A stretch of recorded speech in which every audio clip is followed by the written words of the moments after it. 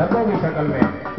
वो इन जानवरों के जिसम पर होते हैं, खासा कद है, और लंबे कान मैसे बॉडी इन जानवरों की खसूसी, खसूसियात हैं। और ये भी जहाँ जहाँ बीतल पाई जाती है, वहाँ पर ये मौजूद है लेकिन खसूस किश्तियाँ भावन नगर छोटाबास वो जो एरिया है इन जानवरों का। बहुत खूबसूरत बकरियाँ जी दूध देने वाले जी, मक्खी चीनी जी। मक्खी चीनी जी।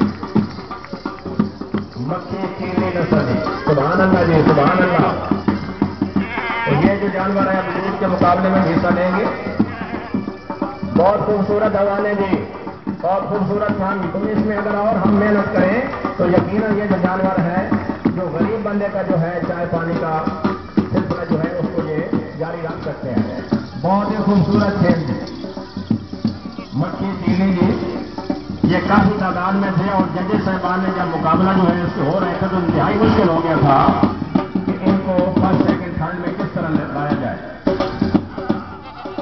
ये बड़ी तादाद है मक्खी चीनी ग्रुप जो है। ये तो ऐसे लगता है जैसे डोमिनेट कर रहे हैं।